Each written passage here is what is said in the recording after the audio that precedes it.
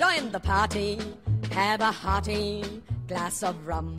Don't ever think about tomorrow, for tomorrow may never come.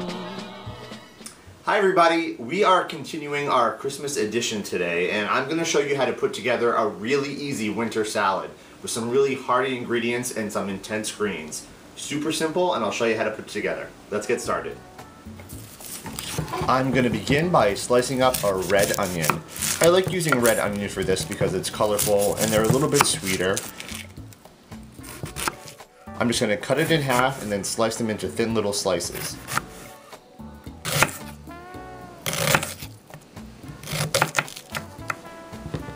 Next, I'm going to peel and slice up a pear into really tiny little strips. It adds a little bit of sweetness and a little bit of tartness to the salad.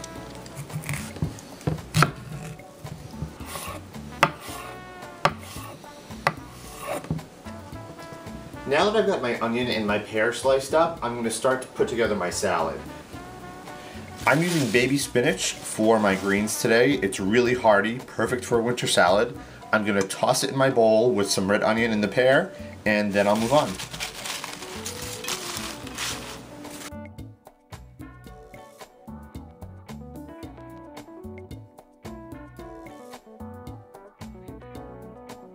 Before I toss my salad, I'm going to add some toasted walnuts. If you toast your nuts before you put them into the salad, they're going to be a lot more flavorful and much more crunchy.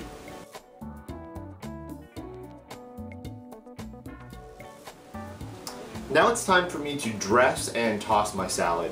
Usually I would just make an easy salad dressing, but I bought this cranberry ginger dressing from Stonewall Kitchen because it was a little festive and it looked beautiful and it tastes great. I'm gonna put a little bit of it on, toss the salad. If you're not gonna serve your salad right away, wait until your company comes to serve it, otherwise it's gonna get soggy.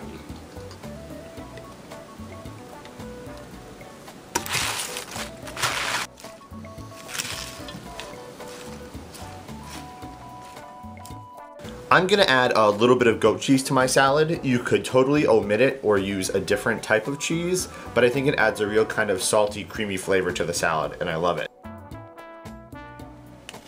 And finally, I'm just gonna hit it with a tiny bit of fresh cracked pepper.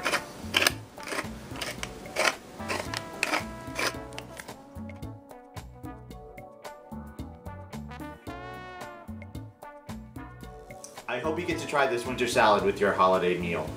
Thanks so much for watching everybody. This recipe and others are available on my website, adamcrowecatering.com. And watch for more episodes of my cooking show, Cook with Adam, on YouTube. See you next time. Join the party. Have a hearty glass of rum. Don't ever think about tomorrow, for tomorrow may never come.